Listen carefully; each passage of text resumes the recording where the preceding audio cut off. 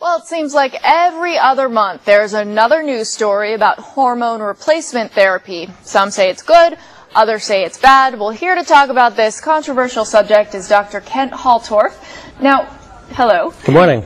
Could you just tell us what is hormone replacement therapy and who is it for? Well, hormone replacement therapy is basically replacing a woman's hormone as they drop through menopause or even perimenopause, the time before menopause. And where the big controversy comes is especially bioidentical hormones versus the synthetic versions that are commonly used. What are bioidentical? So bioidentical hormones are hormones that are exact copies of what a woman would normally produce, including estradiol, estriol, progesterone, testosterone. So exact copies, not synthetic versions. And uh, with all this controversy, so I looked and reviewed all the literature on bioidentical hormones because you'll find, again, some people like Suzanne Somers and Oprah saying, oh, women feel better. Then you have experts saying there's no studies. So look and see if there were studies. There are hundreds of studies, and my findings were just published in a major medical journal, Postgraduate Medicine. And what was found is that bioidentical hormones are uh, substantially different. They have different physiologic effects. They reduce the risk of breast cancer, while synthetic hormones increase the risk of breast okay, cancer. that's the key. and they significantly protect against heart disease much better than synthetic hormones. And women do feel better on them. But really, I think the most important thing is the breast cancer risk, and they're, they're much safer. so stay away from the synthetic. You don't want to do synthetic. And uh, study after study after study shows that bioidentical hormones are safe and safer than synthetics. Can you break down why people feel so bad after menopause? Well, with, with menopause, all the hormones drop. You have low estrogen, low progesterone, low testosterone. And so So when this literally replaces those hormones. Exactly. Now, they want to find a doctor who can customize those formulations because every woman's different and, and can customize it for the different symptoms. Let's say a woman has a lot of anxiety associated with menopause.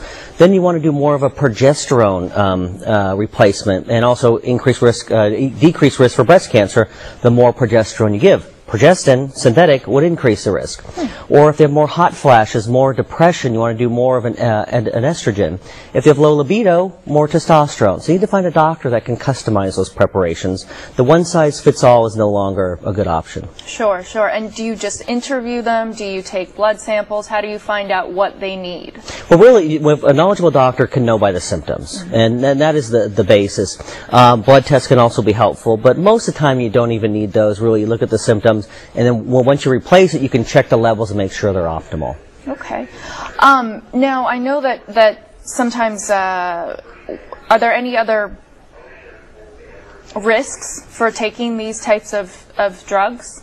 Well, that's when, when you look at a woman, say, okay, what are, why would you want to take hormone replacement? Most of the time, it's for the symptomatic relief. Other women, hey, I want to look younger, which is okay, and uh, then that way you can put actually estrogen right on your face, and you actually reduce the risk of wrinkles. So again, Right on your face? right on your face, and It comes in it comes in form? creams, yes. You don't want to take oral estrogen because you take oral estrogen of any sort, goes to the liver, increases clotting factor, so increase the risk of stroke and heart attack, and increases binding proteins. All your thyroid drops, your growth hormone level drops, so you don't want to do that.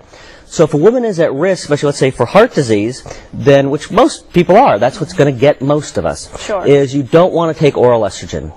It's even bioidentical. You don't want to do it. You want to take a transdermal cream that doesn't go through the liver. It doesn't increase inflammation, doesn't increase clotting factors. Very interesting. Yeah, and then if a woman, let's say, has a, a large risk for breast cancer, wants to do a uh, predominantly progesterone uh, preparation. And can they go to you as well as other doctors? Or are you the only one that, that No, there, supplies there, this there, are many doctors doing this, so they just have to find that doctor. And if they talk to their uh, OB or their family practitioner and say, you know, do you do bioidentical hormones, you'll get an instant response. If there's no studies on that, which is wrong, or you'll have to look elsewhere. All right. Well, thank you so much. For more information, you can log on to www.holterfed, holtorffed, holtorfmed, excuse me, dot com. It's been a long morning.